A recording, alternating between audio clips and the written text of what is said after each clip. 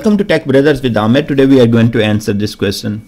What is the difference between full load and incremental load? What is your approach to load data into staging database? So first of all, this question can be broken into two parts. One, what is the difference between full load and incremental load? Full load, when we truncate or delete the entire data from uh, all the tables or some of the tables where we want to do the full load and bring the everything from our source that can be flat files that can be OLTP or that can be any other source we are using to load the data. So we are truncating cleaning the entire tables and then loading the entire data set from the source.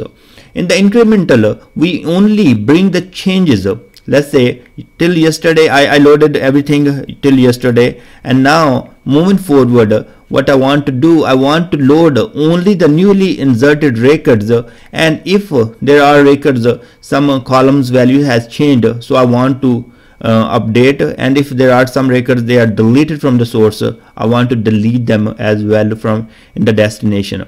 So in the incremental we will be only bringing the change records new uh, old and updated and uh, if we want to delete then those one. So major difference uh, in the full load we can truncate or delete the destination tables and load them entirely but in the incremental uh, we will not be deleting the entire table or truncating the entire table and uh, loading them uh, from the source. We will be only bringing the change data or the new data whatever it is. Now what's your approach to load data into staging database? So staging database is a database where we load the data uh, from our different sources and then we will uh, from staging we will take that data implement the transformations and load the data to the uh, final destinations. Why we use the staging database because data is coming in different formats we first load in the in this database uh, so we can uh, clean the data and then uh, we can Im Im implement uh, the incremental load approach. If uh, we are reading the data from the flat files think about that and we don't have a staging database. So what we are doing uh, we are reading the entire data from from a flat file and then uh, we are removing some duplicates uh, and uh, making some data type changes and everything. And then there are tons of them we need to update in the destination. So what we will do? So we will perform OLEDB command transformation to update those records or delete those records from that table. In that, that case that will make it really slow as OLEDB command transformation is going to run a SQL statement for each of the um, row.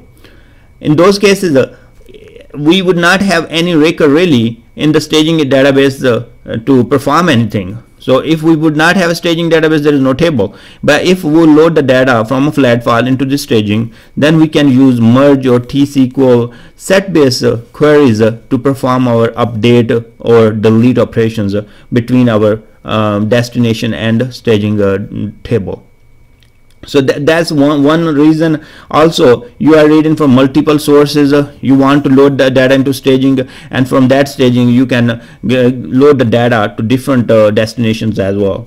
So that's uh, pretty much it. We, we, we would not uh, do the incremental load in the staging area that's where the stage we will do the full we will truncate the tables. We will not even delete them. We will not have the constraints uh, and all those uh, other primary key and foreign key and um, uh, indexes on this stage and database tables. We will just have them on um, heap tables no indexes and we will not have any constraints uh, so just dump the data here and then uh, we can take that data and uh, load into destination and apply all those business rules one thing uh, about the staging databases uh, they they are important and especially when I, I was telling you there are blocking uh, transformations uh, or uh, there are semi-blocking transformations uh, there are aggregate there is sort there is a um, command transformation. These transformations are really expensive transformations and if you want to avoid them the only thing you have it you have to have the data into the table so you can apply set based uh,